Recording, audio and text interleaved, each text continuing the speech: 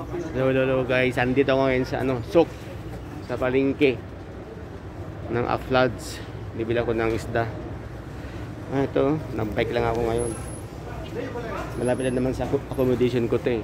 Mga 15 minutes away. Hmm, tiyan mo to. Nakasarado pa yung ano, tindahan ng isda. Pasok ako. Sadik! Uwi na! Ano Eji ha? Ano Eji? Uwi na! Uy, bangus. Oh, press. Hasa, hasa. Sagi, sagi. Ito, hasa, hasa. Yan. Ah, Sadik! Uy, tamban. May tamban. May tamban din, oh, press.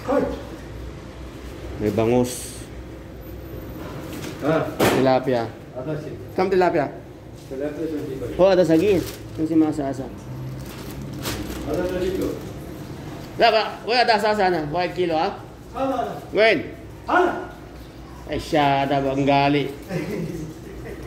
Lain buntok. Ano sukin ta? Say hi ka lang. Ah, bang Bangladesh. Bang bang. Bang bang. Ka, wala kilo, ha? Kiss. ha? Kiss. Yan. Tres na hasa-hasa. Sa ikin ha.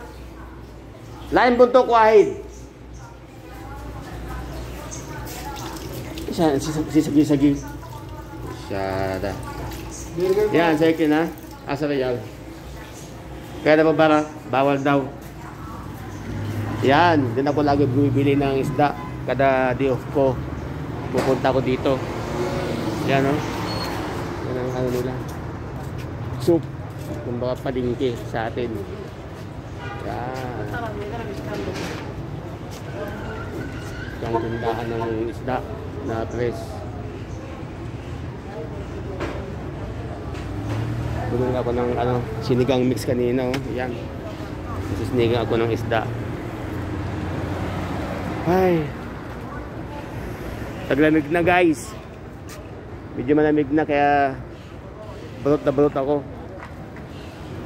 Yan o gusto ipakita sa inyo ang surroundings dito sa palingki ng uploads. Yan. Yan. Dito ako pupunta. Pag bibili ako ng isda bibili ako ng gulay dito. Yan.